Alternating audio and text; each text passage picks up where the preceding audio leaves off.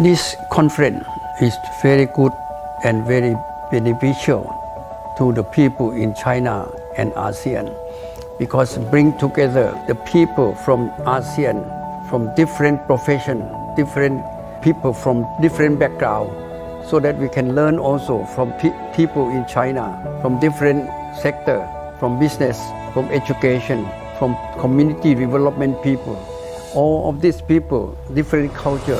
I believe that different make progress, different kind of people who come here this time make different idea so that I can learn more. Henan is very famous, but it's the first time for me to come here and observe the beauty of Henan and Zhengzhou, but not only beauty in the environment, but beauty of the people. I respect the great people of China. I believe that Chinese people are the foundation of the nation. This is true in China, so that the great development of China is because of the great people, great Chinese people. I have to learn more from your success.